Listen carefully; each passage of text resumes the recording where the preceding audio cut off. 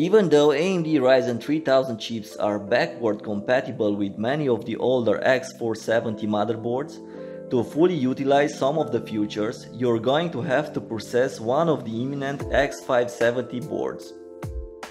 With many new technologies coming to fruition, there is no better time to discuss everything the Aorus X570 has to offer and what we believe are going to be the best Aorus X570 motherboards available in the coming months.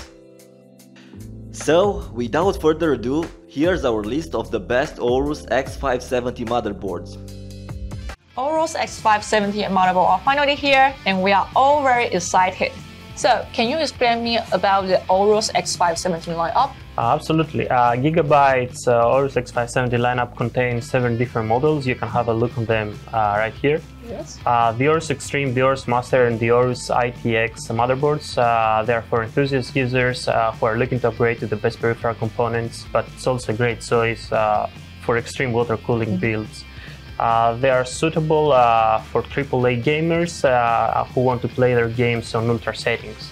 Uh, the Aorus Ultra and the Aorus uh, uh, Pro and Pro Wi-Fi are primarily designed for gamers to dominate their, their opponents in-game with a motherboard's excellent list of features. They are still suitable for AAA gamers, but not for ultra settings. Uh, the Aorus Elite is an entry uh, gaming solution which still offers a great performance but with less features. Okay, so how if I am a budget gamer, which model will you recommend? Oh, I would definitely recommend you the Aorus Elite. Uh, I think it offers a great performance uh, to value ratio. Okay, thanks you for your suggestion. So, what is the main difference between the previous uh, generation mainstream and the chipset compared to X570? Okay, so X570 chipset comes with a lot of new features, but the one that really stands out is uh, the new PCIe 4.0 interface. Uh, the PCIe uh, 4.0 interface is being enabled with the third generation uh, AMD Ryzen CPUs, and it allows for double the bandwidth of PCIe 3.0 interface. But in order, in order for the new motherboards uh, to be able to achieve this kind of uh, speeds, uh, they need a more advanced uh, design that contains new components uh, to ensure the best PCIe 4.0 signal quality, including mm-hmm. PCB, uh, PCI slots, M.2 slots, redrivers, and switches uh, that are specifically designed uh, for this new interface. also, Gigabyte, in cooperation with AMD, develops PCIe 4.0 graphics cards and the new uh, PCIe 4.0 M.2 SSD, mm-hmm. uh, which was announced at Computex 2019. Okay, so as far as we know, AMD announced the third generation Ryzen 60 core CPU. Do X570 motherboard needs any advanced power design to support them? Uh, of course, uh, it's the first time that we see so many cores in the mainstream yes. chipset, uh, and the new motherboards definitely need a more advanced uh, power solution. Uh, this time on the Aorus Extreme, uh, the Aorus Master and the ITX model uh, of our motherboards, uh, we use a power design that we call uh, direct power design. Basically, using the latest PWM controller, uh, we're able to have one power stage per phase without any components in between.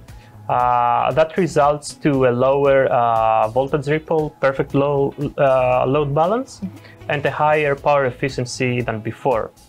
Although even on the lower end motherboards, we don't compromise the power performance. Uh, even our Elite is equipped with 14 phases in total, uh, providing users with the best possible performance. Oh, so uh, what makes Aorus thermal design unique and why this model doesn't have a chipset fan?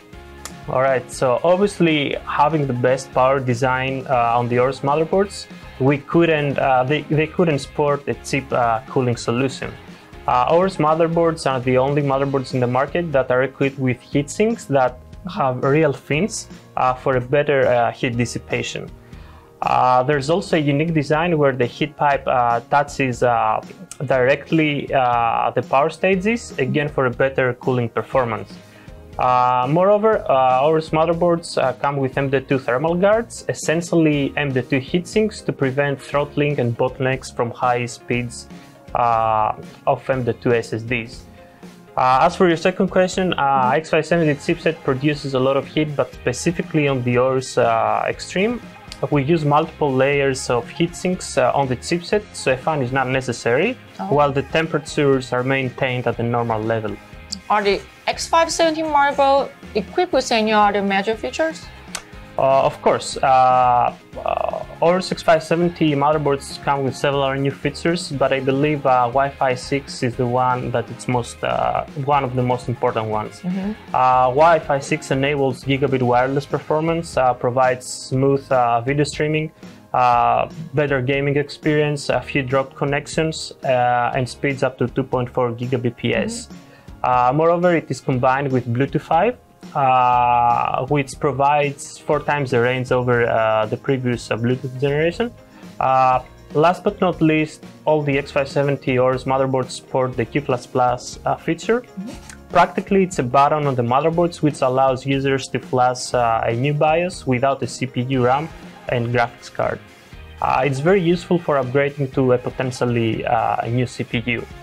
Combining uh, Q++ with Gigabyte's dual BIOS technology, it's almost impossible to ever brick uh, your motherboard.